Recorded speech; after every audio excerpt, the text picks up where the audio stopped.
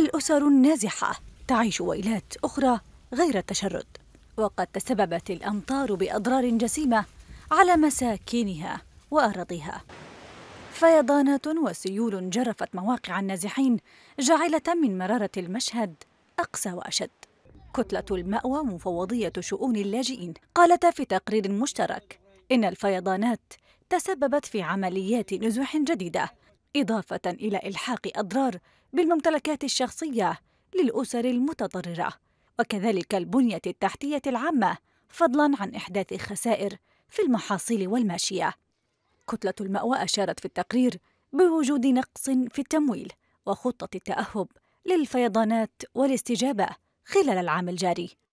تقرير أممي أفاد في وقت سابق من شهر أبريل لهذا العام عن تضرر أكثر من 16 ألف أسرة جراء الأمطار الغزيرة التي شهدتها البلاد مؤخرا وذلك مع قدوم موسم الأمطار خاصة مأرب وهي الأكثر تضررا.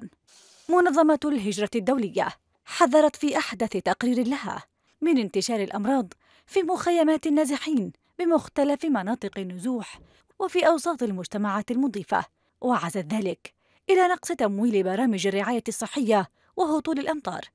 ما يزيد من احتمالية عودة انتشار الأمراض مثل الملاريا وحمى الضنك. الأمطار الغزيرة والسيول التي شهدتها البلاد خلال العام الماضي تسببت بأضرار على أكثر من 500 ألف شخص ونزوح مئات الآلاف منهم.